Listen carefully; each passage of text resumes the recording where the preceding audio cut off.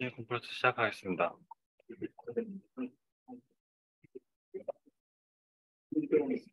환자는 54세 여환으로 팔피테이션 주소로 ER에 내원하셨던 분입니다. 수년 전부터 증상이 있었고 1년에 한두 차례씩 증상이 반복되었었다고 합니다. 이번 증상은 2시간 전부터 지속되었고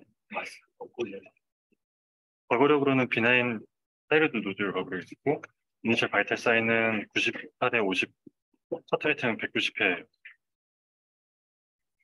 12 lead ECG에서는 regular regular하고 narrow QRS tachycardia가 확인되었었고 retrograde P wave로 의심되는 부분이 V1, 2에서 pseudo S랑 pseudo R이 의심이 되긴 했습니다. 하지만 아데노신 투약 후에 tachycardia가 termination 됐었고 이 당시에도 V1과 S lead 2에서 pseudo R과 pseudo S처럼 의심됐었던 부분들이 여전히 남아 있어서 retrograde P wave는 아니었던 걸로 생각이 됐습니다. chest 엑스레이에서는 cardiomegaly 소견 관찰되지 않고 혈관 edema 소견도 관찰되지 않았습니다. 그래서 EP study를 진행을 했었고 duodecapolar 카테터를 CS에 위치시키고 quadripolar 카테터 두 개를 RV와 His에 위치시켰습니다. normal sinus rhythm에서 cycle length는 804, 804ms, AH 인터벌은 80ms, HV interval 43ms, QRS duration 103ms로 확인되었습니다. RV pacing 600ms로 하는 중에 확인된 earliest retrograde atrial activation은 His 3, 4로 생각이 되었습니다. 뒤, 뒤에 나오는 A 시그널과 V 시그널을 비교해 보면 같이 합쳐져 있었던 것을 확인해 볼 수 있었습니다. RV pacing 300ms에서 VA 블락이 사이클 랭스가 확인되었고 두 번째, 세 번째 signal과 매칭되지 않는 A 시그널이 A 시그널이 관찰되지 않는 부분이 확인되었습니다. 싱글 V 익스트라 스티뮬레이션 스터디를 진행했고 VA 인터벌이 점차 늘어나는 VA 디크리멘탈 프로브트를 확인할 수가 있었습니다. 600에 400, 240ms로 single V extra를 했을 때 VERP를 확인할 수가 있었고 RF 페이싱 600ms, RF 스터디, 페이싱 스터디를 사용했습니다. RF 페이싱 340ms에서 AH 인터벌이 점차 늘어나는 소견이 관찰되었고 V와 A가 점점 합쳐지면서 tachycardia가 induction 되는 소견을 확인할 수 있었습니다.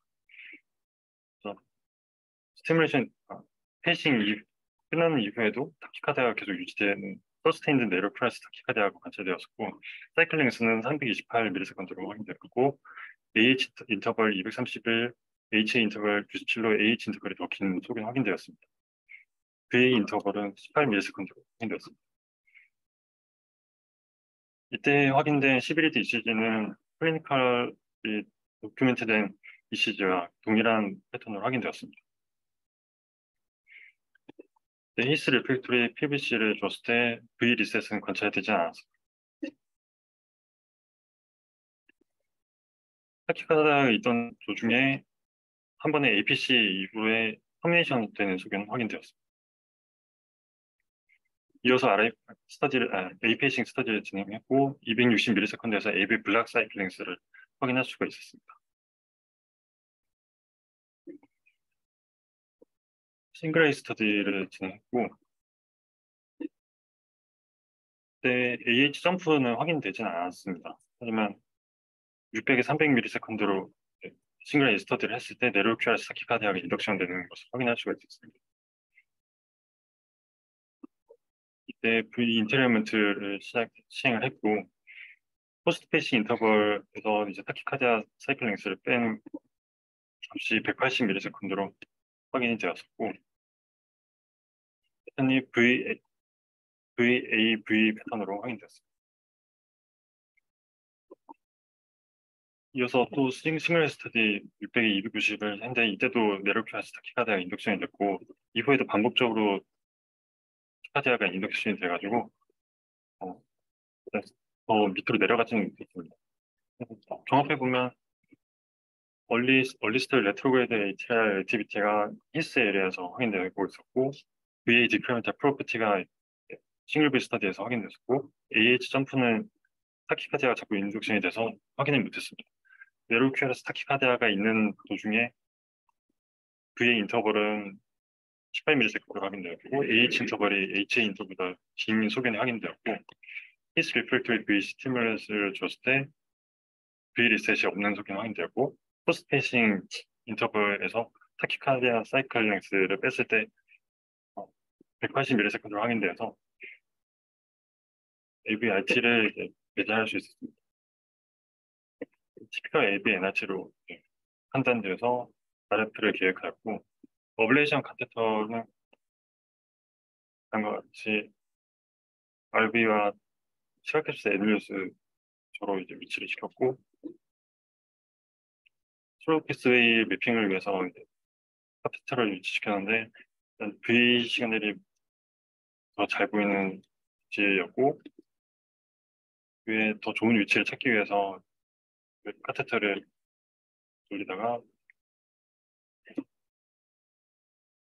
시그널이 A 시그널과 V 시그널이 한 1대 3 정도로 되는 을 찾았고 네, 더잘 잘 보이는 위치에서 RF를 시행을 하였습니다. RF 시행 중에는 junctional rhythm이 관찰되고 있었고 차라리 RF 이후에 싱글 A 스터디를 했을 때 H 점프는 관측되지 않고 single echo beat이 두 번 정도 600에 300과 600에 260 millisecond에서 확인되었습니다. 접촉이 좀 잘 안 됐다고 생각을 해서 booster RF를 시행을 했었고 booster RF 이후에 RA pacing study에서도 tachycardia induction 되지 않고 AB 블락 사이클 랭스를 확인할 수가 있습니다.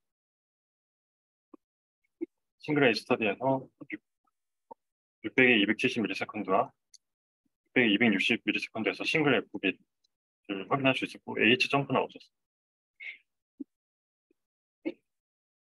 600에 250ms에서 slow path의 ERP를 확인할 수 있었어요. RF 이후에 normal sinus rhythm 확인되었습니다. 간단하게 리뷰를 준비를 했는데 AV NRT 티피컬 AV NRT와 atypical AV NRT 사이 EGM을 이제 이렇게 보고 공부한 건 처음이라서 차이점에 대해서 공부를 해봤고 슬로우 패스트 티피컬 AV NRT는 H 인터벌이 H 인터벌보다 길고 VA 인터벌이 짧은 기간이 관찰되고 주로 이제 얼리스트 레트로이드 HI 액티비티는 CS 오스 라이트 세탈, 레프트 세탈의 히스 에리아에서 관찰된다고 되어 있었습니다. H피칼, 아, fast slow 같은 경우는 H 인터벌이 H 인터벌보다 짧, 짧은 특징이고 slow slow의 경우는 지금 AH 인터벌이 H 인터벌보다 길면서 V 인터벌도 60보다 긴 것으로 이제 분별을 할 수가 있겠습니다. 그리고 ablation position이 position에 대해서도 찾아봤었는데 주로 이제 ablation target으로 이제 정해진 부분은 right rightward inferior extension 위치이고 이 부분이 slow path를 통해서 다시 AV 노드를 액티베이션 시키는 과정이 생기기 때문에 이 부분을 이제 주로 target으로 하게 되고 트랙캡스 애니리어스부터 CS50까지 리니어한 lesion을 만들도록 되어 있습니다. 한 도중에 junctional automaticity, automaticity가 95% 이상에서 관찰이 되고 보통 한두 비트 정도 나오는 정도로 관찰된다고 합니다. 만약 시술 중에 junctional automaticity가 관찰되지 않는다면 RF 리전이 정확하게 제대로 효과적으로 ablation이 되지 않았다라고 생각할 수가 있고 RF 파워는 30에서 35W 정도로 junctional automaticity가 이제 더 이상 관찰되지 않는 상태에서 15에서 20초 정도 더 할 것을 권고하고 있습니다. CS os 근처에서는 power를 20에서 25로 낮출 것을 권고하고 있고 CS os의 floor 아래쪽 바닥 쪽에 이제 RF를 하는 경우 할 때는 어, coronary artery에 injury가 발생할 수 있기 때문에 주의하라고 되어 있습니다. 네. 발표는 여기까지 준비했습니다. 선생님 왔라는데 일기 할때 어, 그거는 제가 확인을 못했습니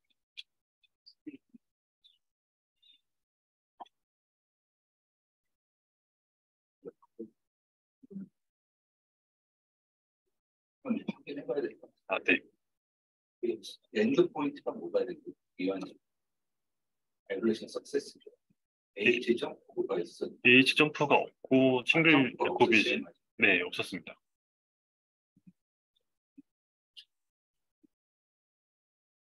오늘 이행 첫째로 처음 봤는데 아, 아닙니다. 그 제일 마지막에 보니까 슬로우 패스 이해했다고 그러는데 점프를 못 봤다고 하는데 슬로우 패스 이해했고 막 계속 슬로패스로 넘어갔던 게 아닌가 생각했습니다. H 인터벌이 계속 꾸준하게 길게 나와서.